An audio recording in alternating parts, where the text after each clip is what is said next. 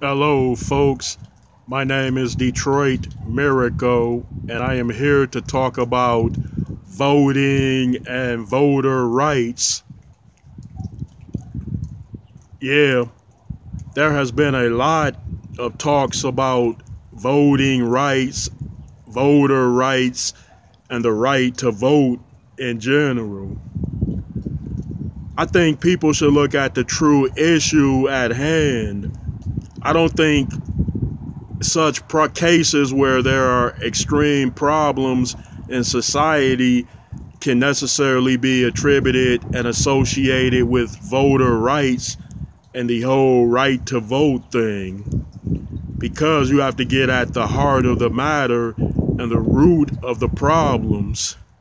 And when you isolate and identify any type of problem and get to the core of that very problem, you will find that it has nothing to do with voting or voters' rights, but rather it has the most to do with choices and behavior.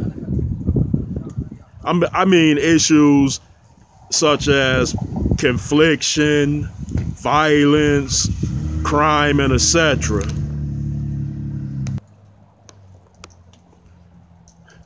Yes, people, and I'm not just speaking out of opinionation added with personal feeling either. I am also using pure logic and rationality. Yeah. When you look at cases where bad things happen amongst people which involve people, chances are voters' rights did not factor into those such incidents.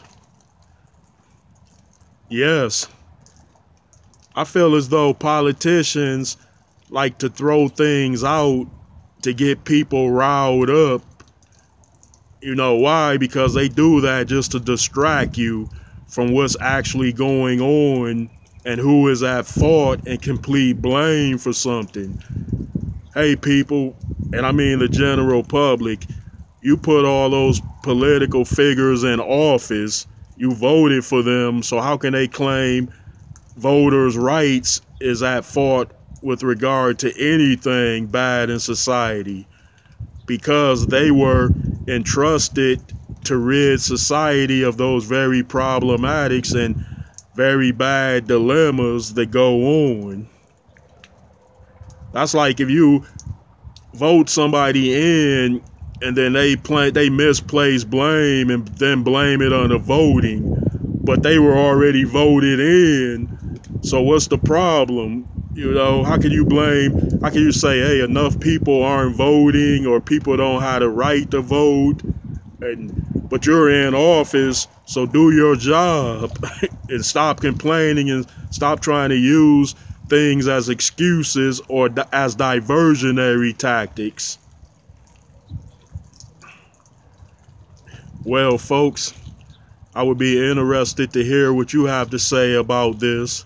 So please throw in those comments, drop those likes, and up those subscriptions to me, Detroit Miracle.